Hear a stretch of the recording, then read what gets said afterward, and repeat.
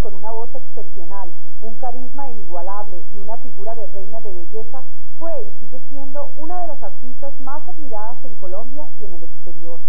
Al ritmo de su voz son varias las generaciones que han aprendido a amar y a gozar la música colombiana. Antes y después de ser la primera voz de la orquesta de Lucho Bermúdez, todos los triunfos eran suyos. Dios la premió con tres cosas en la vida, su voz, su hija y su segundo esposo. Ellos han sido el motor que la mantiene en la cima del éxito. Bueno, hoy, como vieron ustedes, nuestra invitada es una de las cantantes más queridas y de más éxito en nuestro país. Una mujer que con su voz ha llevado la alegría y el folclore y nuestra música, no solamente de costa a costa de nuestro país, sino también en el exterior. Esta noche, la cantante, la mujer, la madre. Bienvenida Matilde. Gracias, Marta. Estoy muy contenta de estar contigo porque te conocí desde muy jovencita también y, y, y hoy la veo ya más mujer, Tan más... ¿Viste abuela? Abuela, Matilde, ¿cómo le parece? Y además déjeme devolverle a usted el piropo y decirle que ese cuerpo era espectacular. Esas fotografías que pudieron apreciar los televidentes. ¿Qué cuerpo, Matilde? ¿Qué hacía usted para conservarse? Bueno, yo creo que como en esa época no tenía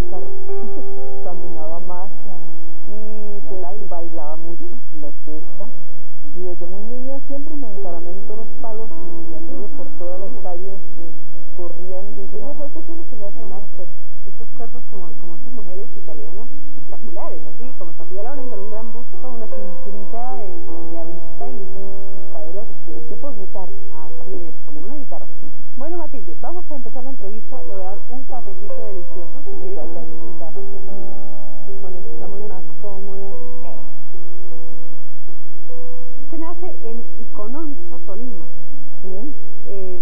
de padres tolimenses, en un hogar de cuatro hermanos, tres mujeres y, y un hombre. En esas noches deliciosas de tertulia de, de los pueblos, usted cantaba ya con su hermana Cecilia, no, Elvira. Elvira. Mi hermana Elvira. Eh, sí, teníamos como una especie de conjunto, pero de timbres, bandolas, Y guitarras. familiar. Eh, sí, familiar. Siempre estábamos eh, ensayando, no ensayando, cantando. Y el, el- afuera en la,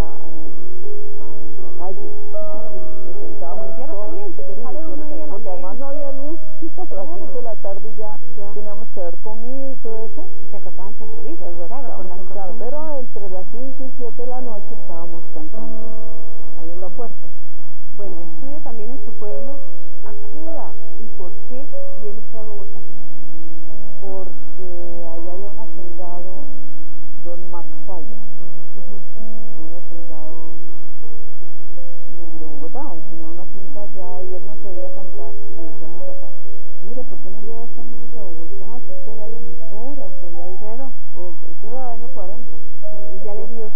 Entonces mi papá dijo, bueno, vayámonos un tiempo a ver qué pasa. Y lo fuimos. Teníamos familia acá. entonces, Ustedes se instalaron, claro. Matilde, ¿usted por qué decía que era mexicana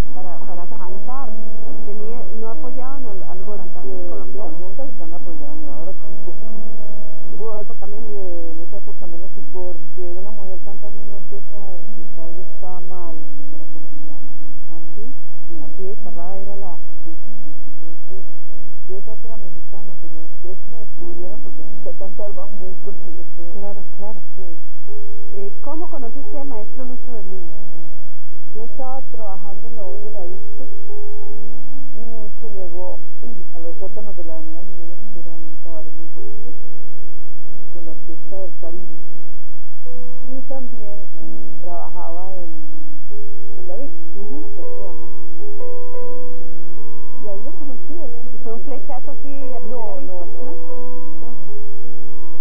no. Le tomó su tiempito conquistarla, ¿o qué? Sí, porque a mí no me gustaba, porque decía, esta mujer tiene que ser mía. Ah, sí. Y me lo contaron y a mí me dio mucha rabia. Con mucha seguridad, vea. ¿Y lo logró? Y entonces eh, él hizo como ya le contaba a mucha gente hizo este concurso, a ver quién cantaría mejor un corto, pero entonces yo me lo gané porque como yo cantaba las rumbas de Maestro Emilio Sierra, entonces era como más fácil. Claro. Bueno, ya se casa con él, realmente eh, son los primeros 10 años de estar viajando continuamente por la orquesta, ¿no? Además fue un éxito impresionante esa orquesta de Lucho con Sí, pero sabes, con la orquesta en el país, porque fuera no. Fuera me tocaba a mí la orquesta cómo era el ritmo, las maracas, todo, porque pues, era un ritmo muy desconocido, ahora sí ya lo, sabe todo el mundo. Yo viajé la primera vez a Buenos Aires, que ahí fue donde empezó mi vida artística. Ahí empezamos a grabar porque aquí no había donde grabar. todavía no. Sí, entonces allá en Buenos Aires grabamos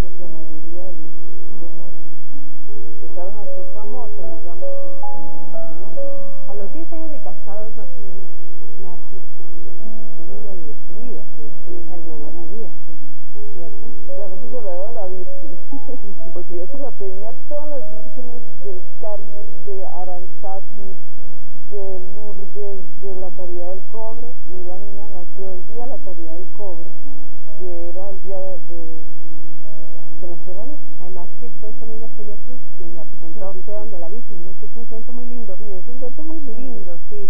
Matilde, yo le invito a ver esta, esta nota con la periodista Susi Vázquez. Gloria María y Matilde definitivamente mantienen una relación madre-hija ideal. A ver, Gloria María, ¿cómo es esa relación? ¿Cómo es que usted, cuando habla de su mamá, se le iluminan los ojos y dice, yo tengo que estar al lado de ella siempre?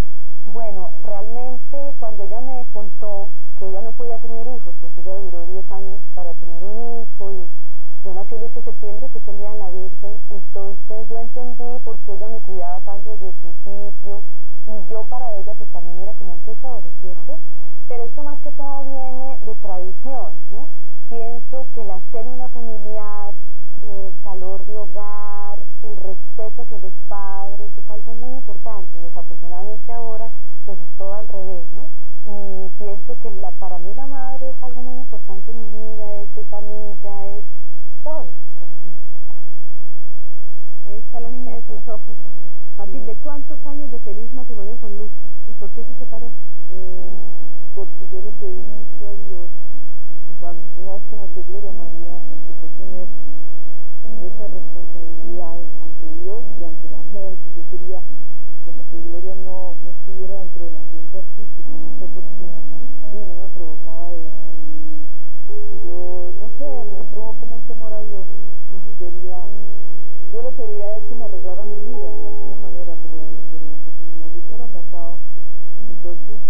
tampoco le pedía que se muriera la señora, ¿no? Claro. Pero entonces él, él allá hizo todas las cosas para que yo me Claro. encontrara con Alberto. Qué lindo.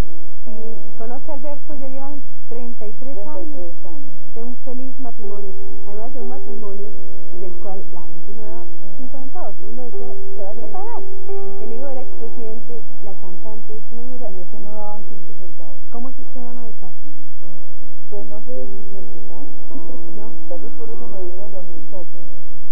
porque pues yo no me esclavizo de nada.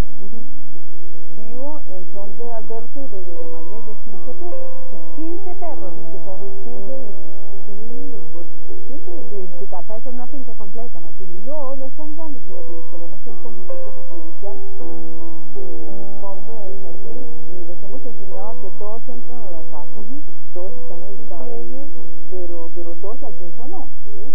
Ya. De noche duermen cuatro dentro de la De casa. cuatro en cuatro. De. No como los 101 dálmatas. No, no. Bueno, Matilde, eh, yo la invito a que veamos esta nota que nos tiene Ceci Varela. Elsa y Matilde llevan más de 30 años como amigas, así que si hay alguien que la conozca bien es Elsa. A ver, Elsa, cuéntanos usted cómo ve a Matilde. Pues muy distinto a cómo se ve ella a sí misma. ¿Cómo es ella? Mira, ella es una persona supremamente positiva.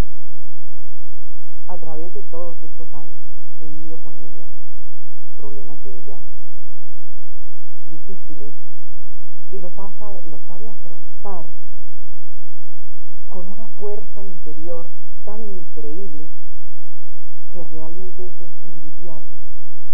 Tiene mucha, eh, mucho espíritu de avanzada, ¿sí? Ella no se deja milanar, por grave que sean los problemas, ella siempre es positiva y dice, de esto salgo. Y eso es admirable, porque nunca le ve nada malo a nada. Por difícil que sea la situación que esté atravesando, siempre dice, de esto salgo y algo bien. Es un positivismo impresionante que tiene. Matilde, ¿qué canción recuerda usted con más nostalgia, con más cariño de todas esas inmensas personas? Bueno, para mí todas son lindas y además las canto siempre igual porque las siento. Entonces, todas son lindas. Claro que la de Gloria María es muy linda porque pues, me trae el recuerdo de que no podía tener hijos y que cuando nació estuve tan feliz.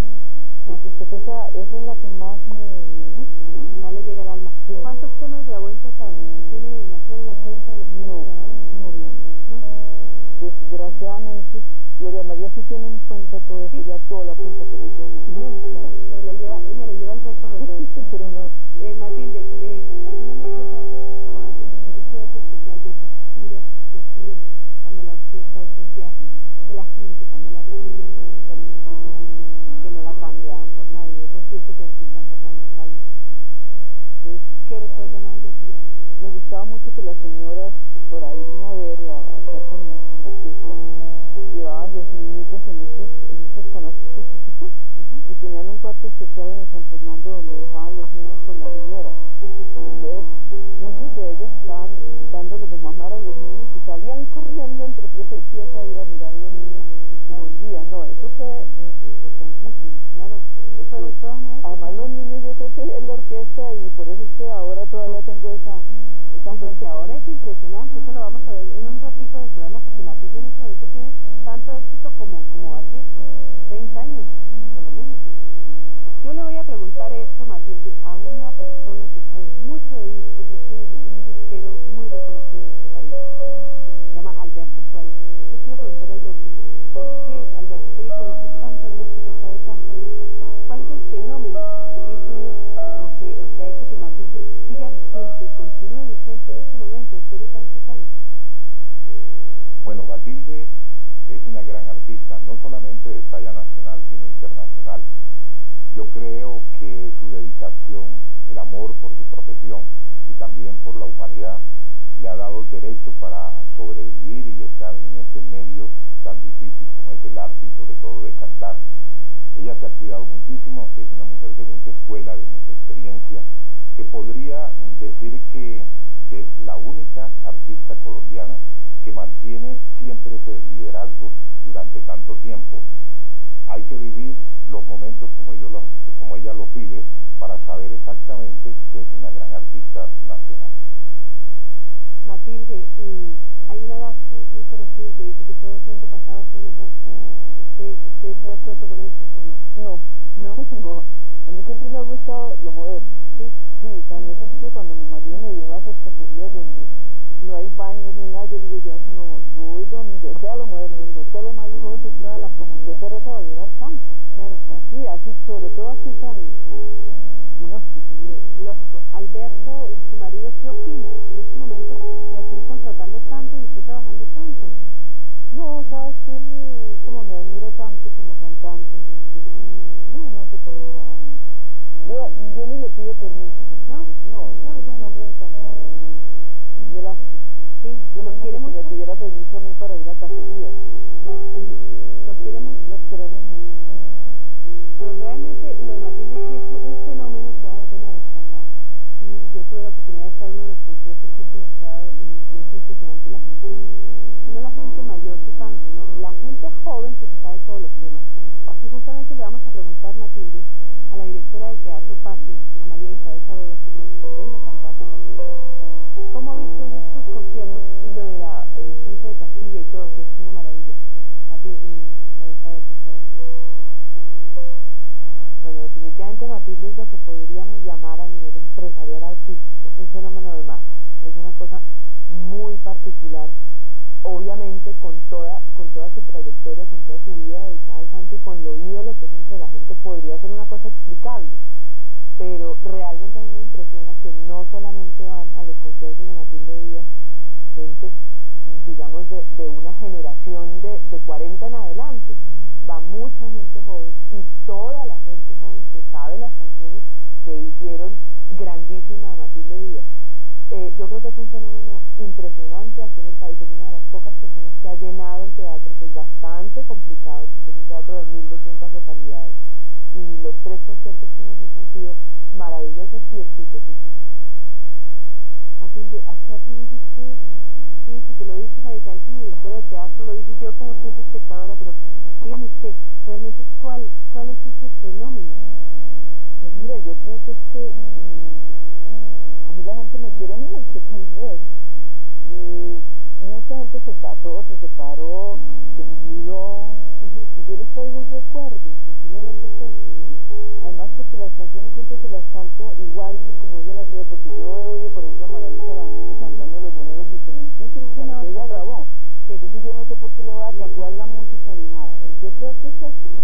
Y, y especialmente quiero agradecerle a la gente el cariño que me tiene, porque me lo demuestran en Sí, el ajá. sentido de la palabra.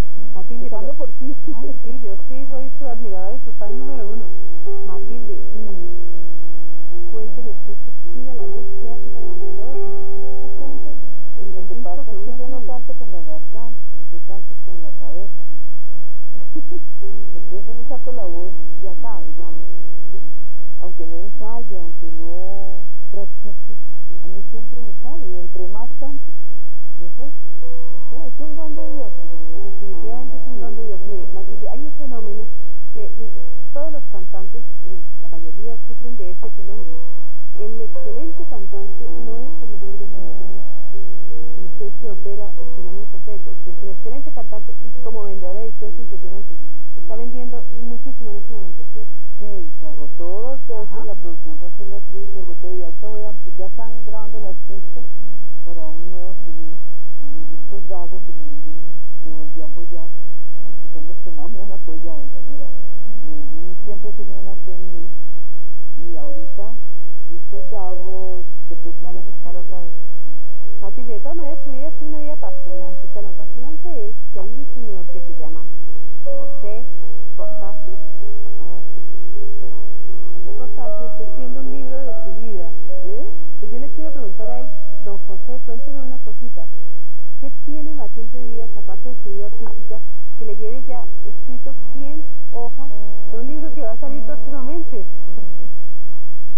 Pues aparte de la faceta musical, pues más que, aunque eso es sumamente difícil encontrar algo que no esté ligado a ella, la faceta musical, em, sus viajes, em, la, la- la forma como pudo o ha podido em, comportarse como esposa, como madre, em, cómo ha podido eh, eh, entrar en sus últimos, en estos años presentes, en el campo de la música religiosa, que en ese campo también ella ha sido bastante acertada.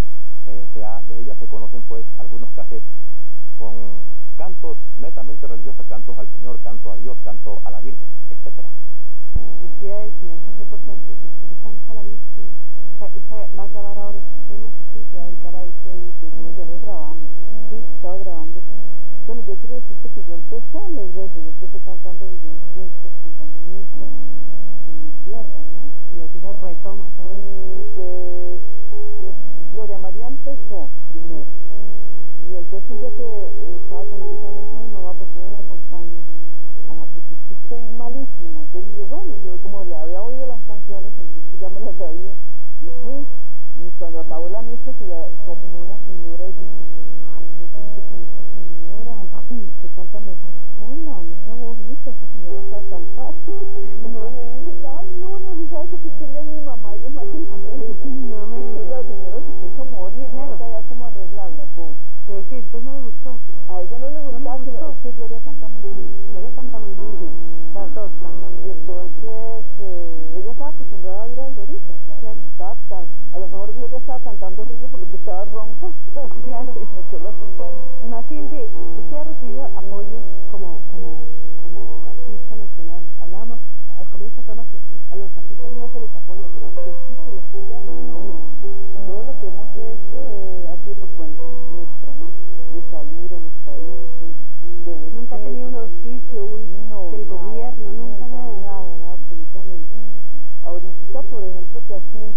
está apoyando un poco quinteto, Ya.